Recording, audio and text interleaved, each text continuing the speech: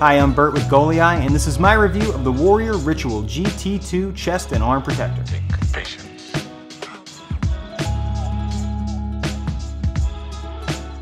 I recently purchased this chest protector because my older one was getting a bit soft and I started getting some midsection bruising.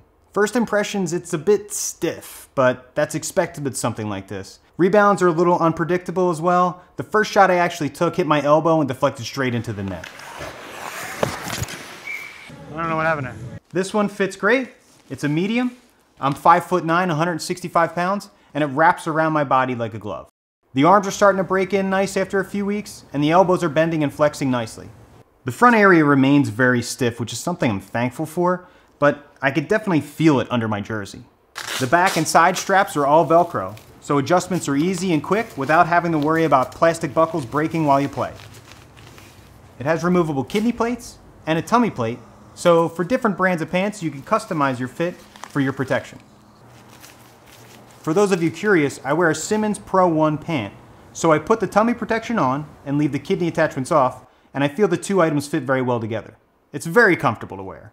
I can move freely without losing any doubt of protection. For me, the price seems a little bit high. For a casual player, it's pretty expensive. After all taxes and shipping, I paid around $350 USD.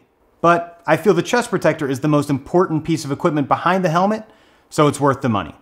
Overall, with its quick adjustability and perfect fit, I was able to put it on and get right on the ice to start playing. For those of you looking for a new, very well protective chest protector, I recommend the Warrior Ritual GT2 Chest Protector.